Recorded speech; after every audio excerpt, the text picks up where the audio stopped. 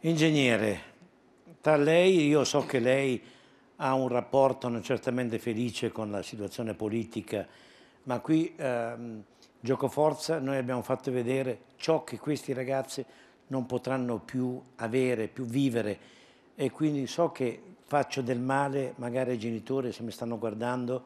che poi è un sacrificio enorme, lo sto facendo anch'io, ma devo anche parlare di questi ragazzi e poi parleremo anche delle spiagge nostre, eh, della ricchezza eh, del, dell'Italia da amare, ma anche questi ragazzi amavano l'Italia, la vivevano, volevano un bene da morire, però sono stati costretti ad andare a Londra per trovare opportunità di lavoro.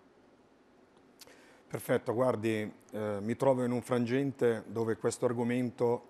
eh, mi dà la possibilità di parlare ad ampio spettro della situazione in cui ci siamo venuti a trovare grazie a una serie di destrutturizzazioni che sono state fatte dallo Stato italiano, dalla scuola italiana e dal popolo italiano. Questi due ragazzi che rimpiangiamo oggi, vedo anche, magari anche con troppa superficialità, perché a me questo dà il volto a stomaco, non sono gli ultimi due ragazzi, perché noi abbiamo avuto la Valeria Solesin, che è stata fucilata con un Kalashnikov a Parigi, abbiamo avuto la signora Fabrizia Di Lorenzo, che è stata trucidata da un camion a Berlino, che anche lei si era recata a Berlino per trovare lavoro, mentre il signor ministro Poletti beatamente e candidamente ha detto che forse era meglio che questi ragazzi andavano all'estero perché qui avrebbero solo dato fastidio. Dunque, se questa è l'Italia in cui noi pensiamo di vivere e di valorizzare, penso che bisogna fare proprio una contromarcia secca, sbrandare la nave e cercare di capire di mettere la prua dritta. Parliamoci chiaramente, al di là delle coste l'Italia ha insegnato al mondo cosa sia il turismo,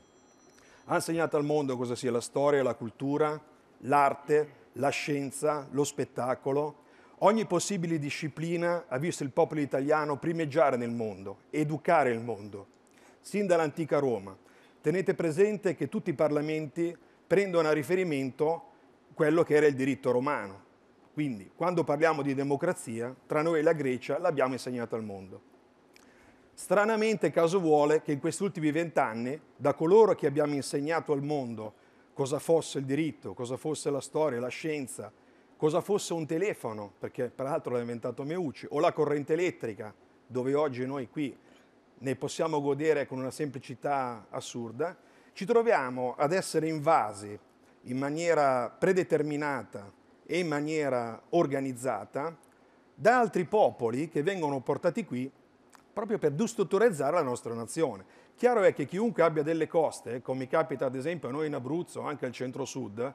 non può pensare di alimentare il turismo e di valorizzare il territorio se poi ha sacche di senegalesi, di immigrati, di spacciatori di droga, di ghetti che vengono a formarsi là dove i turisti la sera dovrebbero passeggiare. È chiaro che vengono un anno, non vengono più. Certo. Abbiamo un problema infrastrutturale perché non ci dimentichiamo che la costa attira il turismo che poi noi dovremmo sfruttare nell'entroterra. Parleremo di questo anche. Perché lei guarda, le faccio un esempio, l'Abruzzo stesso o le Marche stesse che hanno delle coste stupende, non organizzate bene a livello industriale, come diceva eh, la signora Bibione o a Jesolo, perché chiaramente abbiamo un'altra realtà, però noi abbiamo un entroterra da valorizzare che non viene collegato alla costa, ad esempio, che certo. questo è un gravissimo problema.